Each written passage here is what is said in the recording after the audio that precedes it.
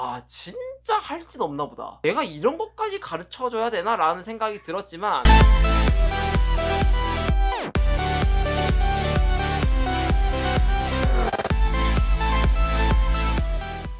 안녕하세요. 비둘기 사촌입니다. 네 어, 정말 또 오랜만에 나타났죠? 나중 좀 이따 찍어야지 좀 이따 찍어야지 하는 게 또 벌써 한 달이 다 돼가 버렸어요. 그래서 더 이상 늦으면 안 될 것 같고 또 우리 구독자님들도 저를 기다리실 것 같아서 한번 영상을 찍어 또 찍어 봅니다. 아 뭐 길게 말하고 싶지는 않지만 어 유튜브가 정말 힘듭니다. 진짜 이 유튜브가 정말 아무나 하는 게 아니에요. 네 아우 힘듭니다. 아무튼 썸네일 보신 분들은 알겠지만 오늘의 주제는 바로 물입니다 앵무새 커뮤니티에서 또 한동안 또 논쟁이 또 벌어진 적이 있었어요. 뭐 앵무새나 비둘기 같이 이렇게 새를 키울 때 물을 뭘 먹여야 하나 해서 이제 수돗물을 먹여야 하나 정수기 물을 먹여야 하나 이런 걸로 굉장히 논란이 있었죠. 그런 논쟁을 지켜보는 제 3자의 입장에서 봤을 때 딱 들었던 생각은 아 진짜 할 짓 없나 보다. 와 정말 저렇게 싸울 거리가 없나? 라는 생각이었습니다 진짜 이게 아무것도 아닌 거거든 근데 제가 또 예전에 말씀드렸다시피 또 그렇게 초보 애조인 분들 기타 순진하신 분들은 그런 잘못된 정보를 흘려들어서 또 괜히 사서 고생을 하신다거나 그러신 분들이 또 계시고 또 그렇게 주인이 사서 고생을 하다 보면 그 고생한 몫이 또 새, 우리 동물들의 몫이 된단 말이에요. 앵무새 전문가로서 제가 그 꼴을 볼 리가 없죠. 그래서 한번 영상을 틀어봤습니다. 내가 이런 것까지 가르쳐줘야 되나? 라는 생각이 들었지만 그래도 또 워낙 논란이 있었고 또 지금도 한 번씩 회자가 되고 있는 상황이라 누군가가 적어도 저 같은 전문가가 확 확실히 점, 그 정립을 할 필요가 있다고 생각을 했어요. 정말 이렇게까지 생각해야 되나 싶은 생각이 들긴 하지만 그래도 한번 분석을 해 봅시다.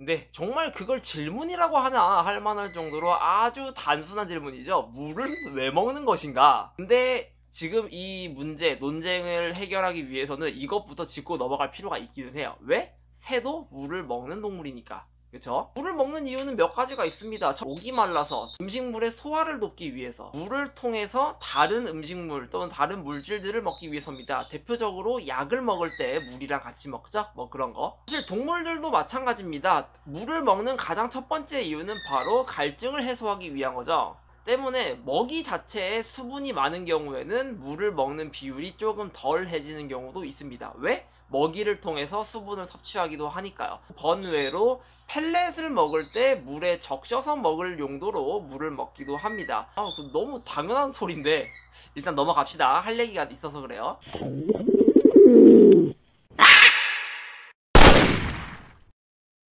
그냥 정수기물을 먹어야 된다, 수돗물을 먹어야 된다 이런 얘기하는 사람들 얘기를 들어보면 이제 각자 이유가 있죠. 일단 수돗물부터 얘기를 합시다. 왜 수돗물을 먹어야 하냐라고 하면은 깨끗하게 정제된 물이긴 하지만 사람이 먹기에는 약간 덜 걸러진 물이라는 인식이 강합니다.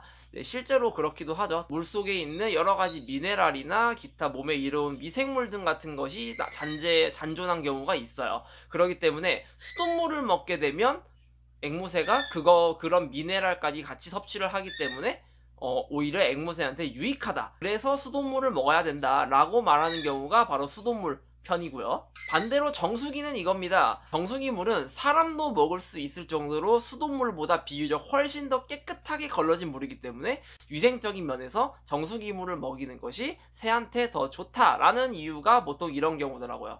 아니 뭐 그래요. 뭐 양쪽 둘 다의 뭐 일리 나름대로 일리가 있는 이유가 있는 거는 내가 알겠어. 알겠는데 이게 그렇게 막 앵무새 톡방이나 커뮤니티에서 싸우고 논쟁이 나고 이럴 정도라고 생각한다면 그건 절대 아니야. 야 이건 무슨 초등학생들도 안 할 이상한 그런 걸로 얘기를 하나. 아니 그러면 앵무새 입장으로 봤을 때 이럴 거라는 소리잖아. 주인이 맨날 수돗물로 줬다가 갑자기 정수기 물로 줬어. 그래서 앵무새가 그걸 딱 먹어봤더니 이제 아 오늘도 왜 물맛이 달라. 주인은 또 먹던 거 안 주고 또 갑자기 또 수돗물 주다가 정수기물 줬나 보네. 이거 진짜 아 이거 정수기물 이거 미네랄도 별로 없고 막 다 걸러져 가지고 별로 미네랄 섭취할 것도 없고 막 이득도 없는데 아 내가 진짜 이거 왜 이걸 먹는 거야? 그냥 주동하나 열심히 주지. 아, 나 미네랄 부족하고, 막 박테리아 부족해갖고, 소화장애 생기고, 뭔일 나게 되려고, 나 지금 이렇게 만들려고, 괜히 그러는 건가? 지금 앵무새가 이럴 것 같다는 거예요? 말이 되는 소리를 해!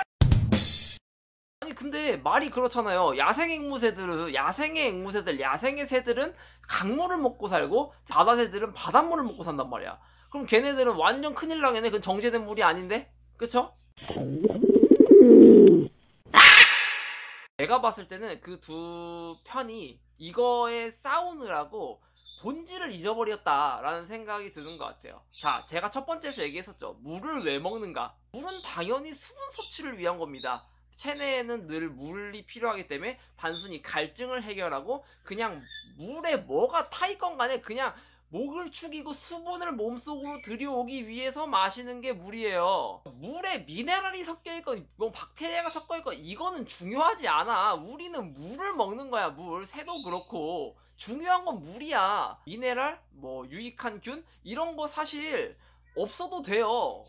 있으면 어떻고 있어도 나쁠 건 없지만 없다고 나쁠 것도 없다는 거야. 여러분들 그렇잖아요. 기 뭐 깃털 영양제네, 뭐 미네랄 블럭이네, 뭐 무슨 유산균이네, 생균제네, 그거 다 여러분들 모이 모이랑 뭐 이유식에 섞어서 실컷 백날 첫날 먹이지 않습니까? 그걸로도 충분하지. 사람이 챙겨주는 건 먹이만으로도 미네랄이나 그런 유익한 성분들은 충분히 섭취가 돼요. 물에 의존할 게 사실상 없어요. 그렇게 미네랄이 중요하면 그냥 미네랄 블럭 갈아가지고 물에 타서 주세요. 그게 차라리 더 확실하지. 그렇기 때문에 수돗물이 낫다, 정수기물이 낫다, 이게 진짜 의미 없는 싸움입니다. 네, 저는 제발 이 영상을 통해서 좀 여러분들이 좀 덜 싸웠으면 좋겠어요. 말이 꺼낸 김에 제 얘기도 할게요. 저 같은 경우는 그냥 수돗물을 떠서 먹여요.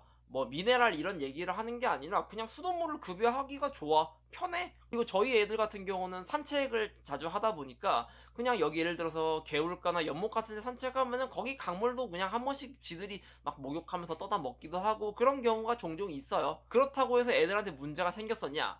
아니란 말이야. 절대 그렇지 않지.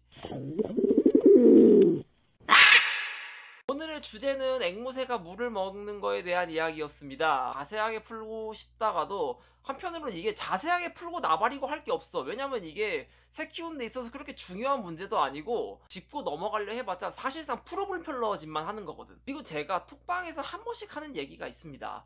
앵무새가 뭐 하나 까딱했다고 바로 막 중내 산에 골골대네 이런 동물이 아니에요. 그런 동물이면은 아마 사람이 못 키우는 걸 넘어서 아마 지구상에서 이미 멸종을 했겠지. 아무튼 오늘 영상의 결론은 이겁니다. 여러분 그냥 편할 대로 하세요. 진짜 동물은요. 마음을 편하게 먹고 키우셔야 잘 건강합니다. 근데 사실 말이 그렇잖아요. 우리가 동물을 키우는 거는 그 동물을 키우고 교감하는 걸로 인해서 행복감을 위해서 키우는 거지. 막 이거 어떻게 하지 저거 어떻게 하지 하면서 막 스트레스 받아 먹으려고 동물을 키우는 게 아니잖아요. 차라리 이 영상으로나마 그냥 좀 마음을 편하게 먹을 수 있는 계기가 좀 되었으면 좋겠습니다. 네, 오늘 영상은 그냥 여기까지 할게요. 길게 이 요번 주제는 그냥 길게 얘기하고 싶지가 않다. 네, 대신에 진짜 빠르게 또 다시 영, 또 다른 영상으로 돌아오도록 하겠습니다. 아, 이제 정말로요. 네, 아무튼 오늘은 여기까지 하도록 하겠습니다. 감사합니다. 안녕!